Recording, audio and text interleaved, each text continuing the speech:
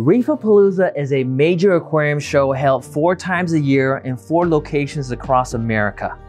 You can attend by signing up online and there are two reef passes available. The single day pass for one day out of a weekend and the diamond pass that includes two days, raffle tickets, and an early entry. This year at the 2019 California Reefapalooza, Red Sea and Marine Depot gave out 300 free t-shirts to the first attendees at the show.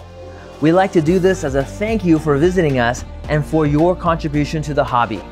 Without you guys, none of this could be possible. If you attended this year, you would have noticed our very fun game, the Wheel of Fortune. At our booth, we had a whole bunch of free items. I mean a whole bunch. Spin the wheel, and wherever the marker lands on, you win that prize. All in all, we ended up giving away over $18,000 worth of aquarium supplies to over 1,500 attendees. We enjoyed every conversation we had with you guys, and we were happy to answer any questions you had about the hobby. If you saw us in our new Jawfish t-shirts and enjoyed them, we do have them available on our website for sale. This year, we want to highlight some of our favorite coral vendors at the show and the newest products that caught our eye. But first, here's what the Reefapalooza experience looks like.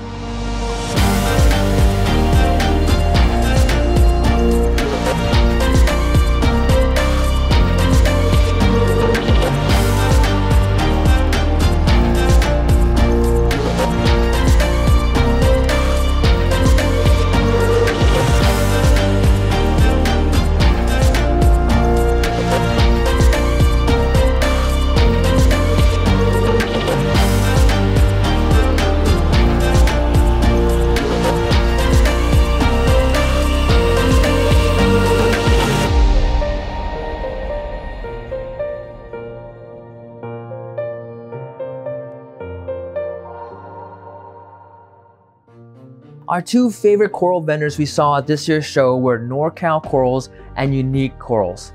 Their livestock definitely stood out to us. I mean, look at all the beautiful SPS at Unique Corals. They're just super happy and healthy. We also enjoyed the sea anemones at NorCal Corals.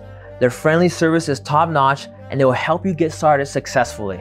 At this year's show, it was a little bit different than last year we noticed that there were some really neat touch tanks that families could come visit and there were some amazing freshwater vendors that we don't normally get to see here.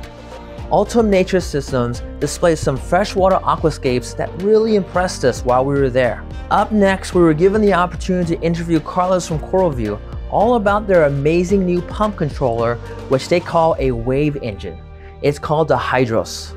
Hi, this is Waylon from Marine Depot. And this is Carlos from CoralVue. And we're here to talk about the Hydros system.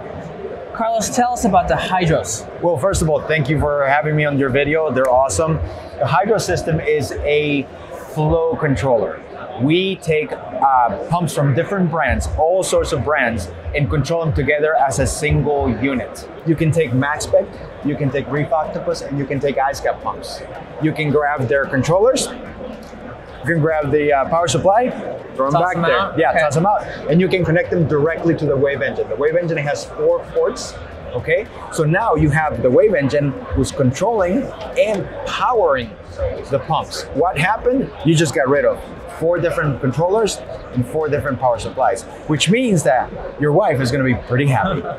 And then the Wave engine also has an Ecotech Marine chip inside that can actually send a signal. So the Wave engine becomes a master and then you just configure your MP40, MP10, your Ecotech pumps to be slave, and then you can connect as many pumps as you want. Terrific. Yeah. I also noticed another port up here, a 0 to 10 volt input. Can you talk yes. about that? Yes. So the easiest way to explain it is if you have an Apex, you can actually connect the Apex variable speed port to this input right here. And then you can actually configure your Apex to send that particular signal. So if I send a 2 volt signal, then I'll configure the wave engine to start the feed mode at 2 volts. But what if I want to do water change? I'll set the signal to 3 volts on the apex, configure the wave engine to start water change on the 3 volts. So you're allowing the wave engine to do what it does best, which is drive a pump, create flow patterns, but still have the, the capability of grabbing an Apex or a third party controller and telling it when to turn off the pumps, when to go to feed mode, which is mainly what people are looking for. So this wave engine actually is IP65 rated. We do this by using this special uh, GX12 connectors that keep the wave engine completely sealed so there's no problem with splashing or rusting or anything like that. Now, you spoke about the wave engine as one component within the Hydros family. What else does CoralVue have in mind? For that, you'll have to tune in to Orlando MACNA, and then we'll give you a little more.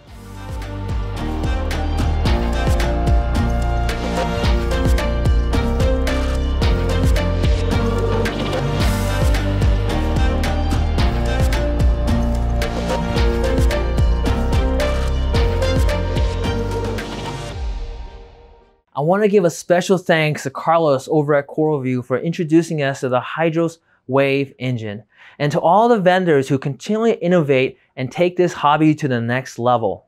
The show was filled with enthusiastic hobbyists like yourself, beautiful corals, terrific speakers, as well as the gadgets we all love.